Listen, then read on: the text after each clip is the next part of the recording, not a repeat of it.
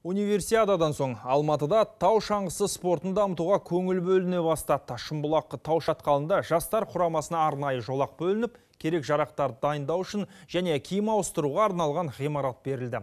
Енді жас шаңғышылар сүйікті спорт түрімен еш алаңсыз айналыса алады.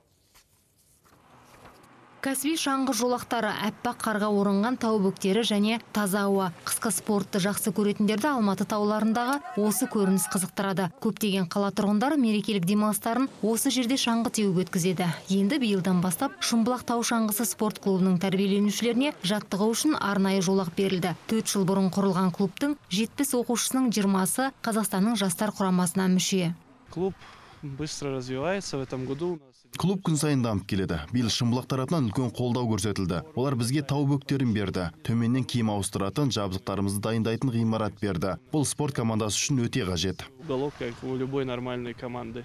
Клуб тәрбиеленушілерінің жаттығу маусымы қатарға тұрудан басталды. Команданың 12 спортшысы Австрияның мұзықтарында дайындықтан өткен. Шетелде жаттығуға өткен жылы жақсы нәтиже көрсеткен спортшылар таңдап алыныпты. Бұл команда мүшелері үшін алғашқы тәжірибе болды. Мне кажется, меніңше біздің тауларымызда айырмашылық бар ол жақтың жарлары тік және шаңғы жолдары кәдімгідей ұзын мәселен мен мұнда бір түскенде шаршамаймын ал австрияда үш рет тоқтауға тура келеді приходится останавливаться.